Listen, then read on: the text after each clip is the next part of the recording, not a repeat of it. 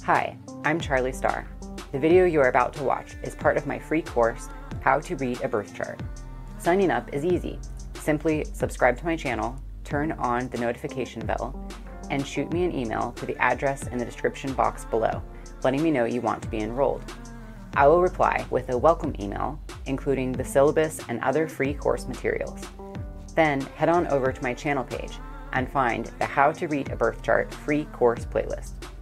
Hit play and follow the step-by-step -step instructions to become a true birth chart master. And now, back to this video.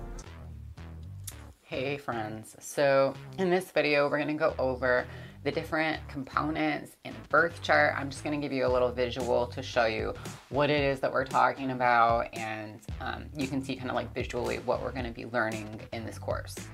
Okay, so I wanted to show you guys, um, starting off, how to look up a chart for free. So I use SolarFire, which is an amazing, amazing astrology software, but it is not cheap. Um, if you do end up getting really into this and really wanting to like have all these options and have a lot of control um, over like different sort of more like advanced techniques, I do recommend SolarFire 100%. It is the software to use, but it is, like I said, not cheap. So I want this to be a completely accessible and free course for you guys. So I'm gonna show you my favorite website to look up your chart for free, and that is astro.com. So here we are, astro.com, and how you're gonna look up your chart is you're going to select horoscopes and then in the drop down, you're going to pick extended chart selection. Okay, so I already put in my information here, but let's just add. So if you're new to astro.com, you'll just select, you can either create a free account or you can um, use it as a guest.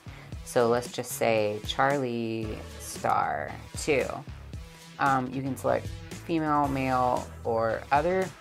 Um, I, if you select other, if you identify as non-binary, um, you can select either one. Just know that if you select event, unfortunately at this time, they don't give like a personal interpretation of the aspects, which um, this website will give particular um, interpretations of the different aspects if you select male or female so let's just select one.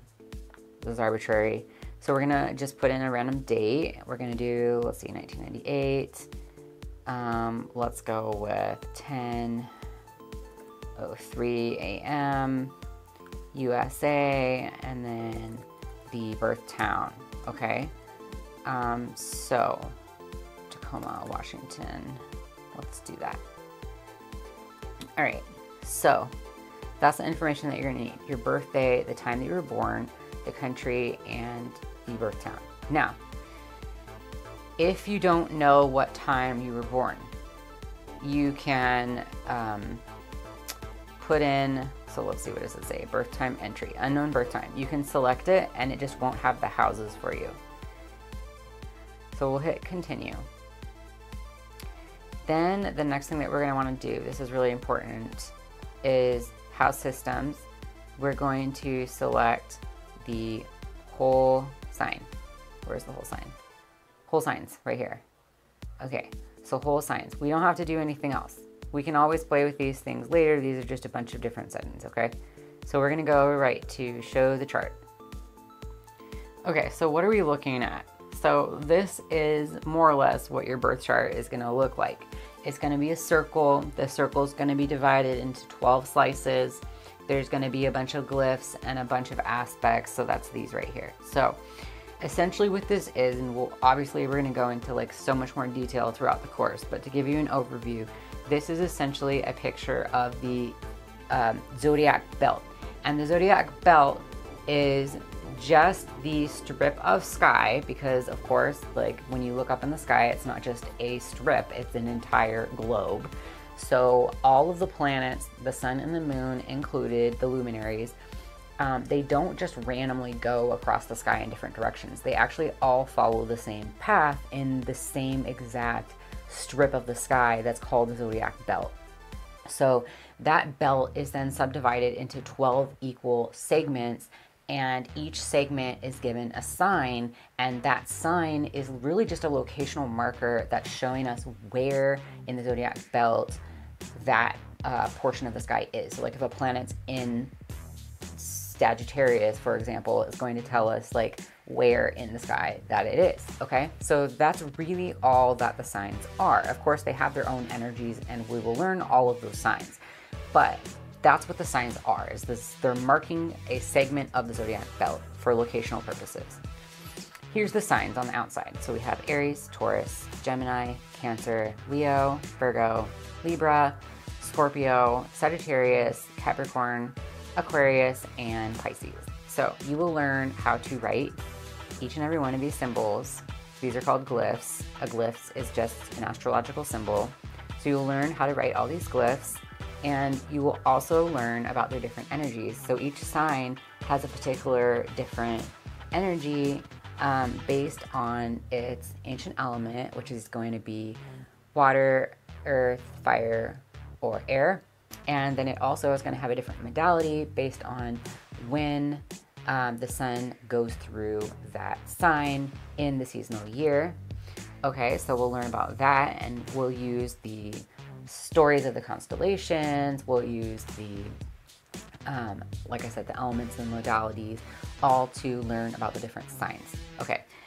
So then, on top of that, the next thing that we're going to be learning is the planets. So the planets are symbolized inside the wheel with these glyphs. This one's Saturn, this one's Mars, this one's Jupiter, this one's Uranus, this is the Sun, this is Neptune, this is Venus, this is Mercury, this is um, the MC, this is the midheaven. It's actually just a sensitive point. We'll also be learning that.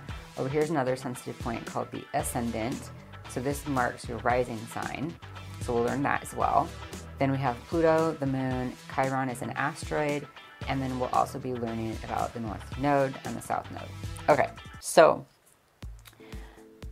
all of these, well, most of these, they're planets, and each planet is going to rule a particular sign. Um, so we'll learn all of that and we'll learn all of how to interpret um, what ha- what do you do with like a sign that's empty if there's no planet in it if the planet if the ruling planet of the first house is in the 11th or the 10th what does that mean? Um, all those different things. Okay we're also going to learn the house systems so the house divides the wheel again into 12 segments.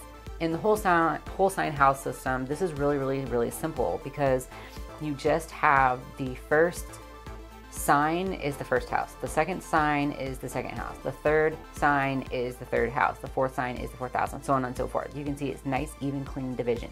Okay, there's other house systems that make it a lot more complicated. Some people will have like, you know, really big first houses and really like teeny tiny eighth houses or something like that. So those are different house systems. We'll learn about that as well, um, what those house systems are and why we may or may not use it. Um, for reasons I'll go into later, I prefer the whole sign house system. It's the oldest, it's the most tried and true, and it's the most simple, okay? Um, but what the houses describe is what's happening, um, not just what's happening, but where is it happening, okay? So, like, the second house is going to describe your values, your relationship to money, your finances, your skills that you have to monetize, your resources.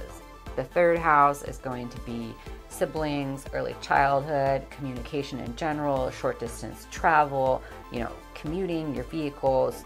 Fourth house is going to be the home, the mother, the family of origin, real estate. So, as you can see, each house describes or rules, you could say, like a different part of your life. So that's what the houses are. And then we're also going to learn about the aspects. So the aspects are these lines right here. You see these red lines and these blue lines, and they're making these like marks in between certain planets. So what that is doing is um, that is describing the relationship between these planets, and that's another interpretive aspect. Okay, so we'll, we will be learning about these aspects in the chart, the main ones, and what those energies signify. Then um, we'll also be learning about degrees. We won't go too much into degrees, um, but we'll just go over kind of like the basics of degrees. In the wheel, there's 360 degrees. Each sign has 30 degrees. So when you see a number like 224 right here, all that's saying is that the ascendant is at two degrees of Aries. So it's again, it's a locational marker, okay? Um, so we'll get into that a little bit. Um, we're not really gonna get into numerology or the Sabian symbols, um, like more like, we're not gonna get too heavily into the degrees, but we will get into just like the basics of the degrees as they are relevant to other parts of astrology um, in the chart. So I hope that it gives you some somewhat of a understanding of what it is that we're going to be learning in this course from a visual standpoint. There's all these this chart down here that kind of like breaks it down and like tells you what the glyphs are here, which is kind of like a little cheat sheet. Um, and it, then it even tells you like um, aqua for Aquarius, three degrees of Aquarius, six degrees of Sagittarius, 15 degrees of Capricorn. And then these are, um, these glyphs represent different aspects, so they'll tell you what aspects each planet is making. Um, I don't really find the chart that helpful. Once you've already memorized the glyphs, to me, it's just not intuitive to look at this chart. It's much easier for me to look at this and be like, oh, okay, so like the Pluto and Pluto and the moon are in a trine with Saturn. Like, so much easier for me, but we'll get into that later. Okay, so I hope that gives you guys like a basic visual of what it is exactly that we'll be learning to interpret throughout this course. In the next video, we'll be learning about the history of the birth chart, how we got to where we are today, where did it come from, just a quick little overview.